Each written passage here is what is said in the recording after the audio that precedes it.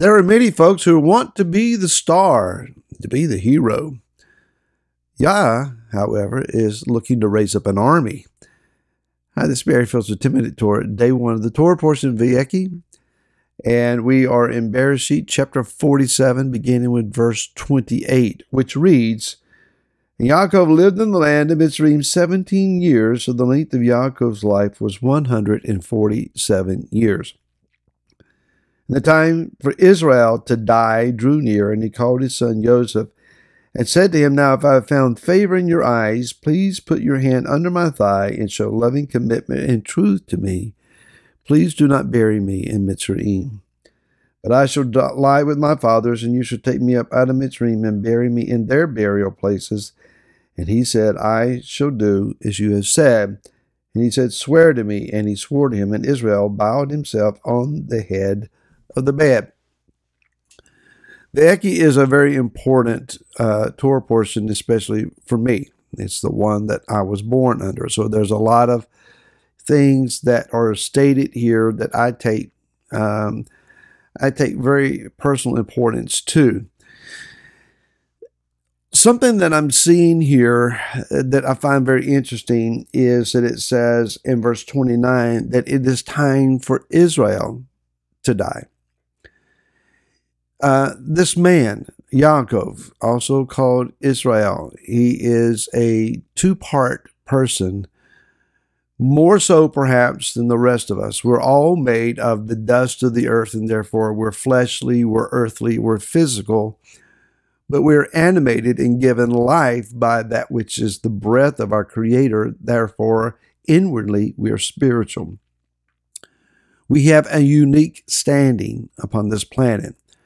We are grounded onto the physical realm, uh, gravity pulling us and connecting us to the soil of the earth, that we experience life in the physical realm, in the earth, and by all the things going on in our environment.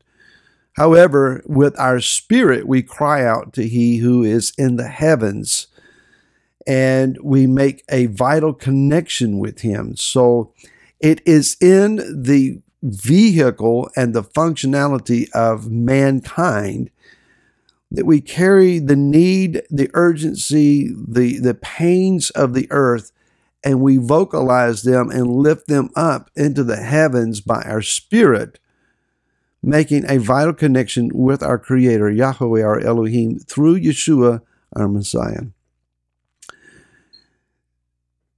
This man, Israel, Yaakov, is carrying a double identity.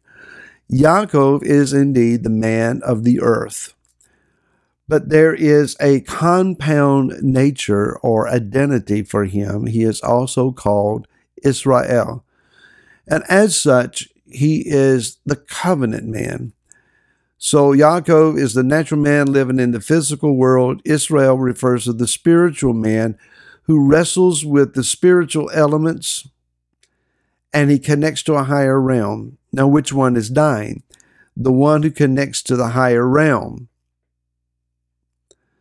We would rather read that Yaakov, the physical man, was dying. That's true. But with him is the singularity of this double identity. Now, what I mean by that? Yaakov, as the double uh, named man, he, as Israel, he carried this particular spiritual standing. It's dying with him in that generation as it was carried in previous generations as well. From this point on, the nature of Israel, the ability to wrestle with the heavenly realm, to prevail, and to have connection by covenant to the higher realm and righteousness is going to be spread abroad, not upon a particular next generation individual, Yehuda or Joseph, but rather by the family who will become then a nation.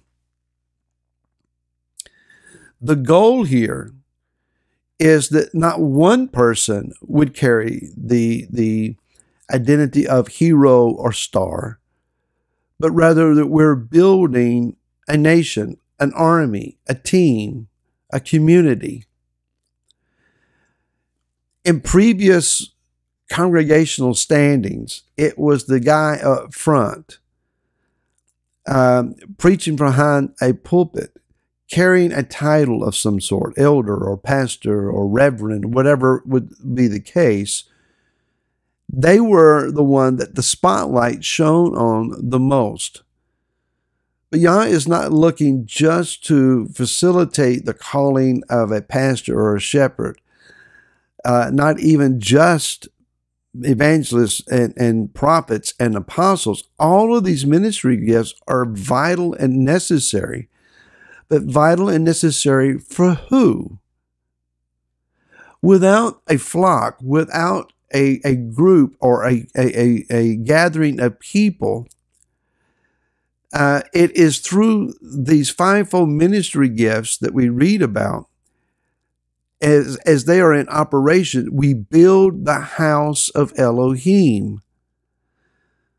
So there's a vital importance that there is that, that there are people involved, that people are being encouraged and built up and edified, and that people are equipped also with giftings giftings that we read about in 1 Corinthians chapter 12 power gifts, vocal gifts, healing gifts, ministry gifts.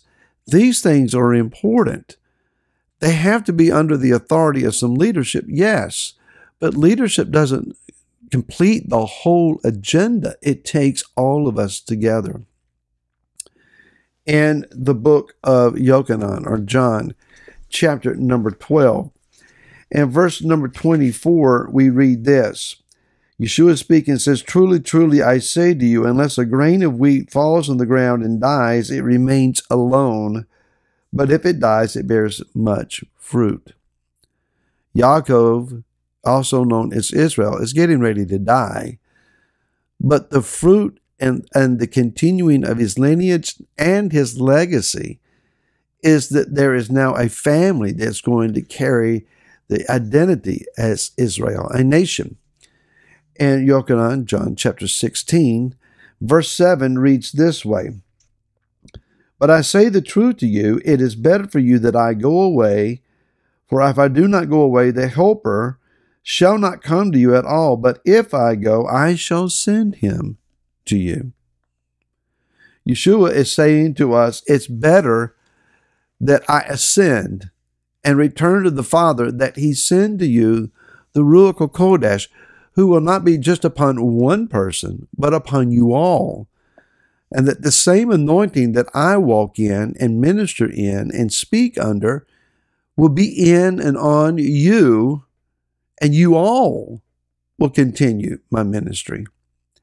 In the book of Acts, chapter number one, and, uh, and in verse number eight, we read this But you shall receive power when the set apart Spirit is coming upon you, and you shall be my witnesses in Jerusalem, or Jerusalem, and in all Yehuda, and Shomeron, and to the end of the earth. Yehuda and Shomeron is what is currently politically called, and may I say erroneously called, the West Bank, as Judea Samaria. And so they were to start in Jerusalem, spiral outward into that second region, and then throughout the earth. And that, that work is still being completed to this day. But what about our heroes? I just like it when there's a guy or a lady up front that's doing the work. I just really prefer that we have someone with authority. In the book of Numbers, chapter number 11. It says in verse 24 and following, And Moshe went out and spoke to the people the words of Yahweh, and he gathered 70 uh, elders of the people and placed them around the tent. And Yahweh came down in the cloud and spoke to him, and took of the spirit that was upon him and placed the same upon the 70 elders. And it came to be when the Spirit rested upon them that they prophesied, but did not continue. And two men, Eldad and Medad, were in the camp. They were not present, and they were prophesying. Yehoshua says, Stop them. They're, they're ruining your reputation, Moshe. I would that they all be prophets, he said. Yah wants to make a hero and a star out of you. It's a part of the army. Be ready to sign up, and we'll see you again tomorrow. Then, shalom.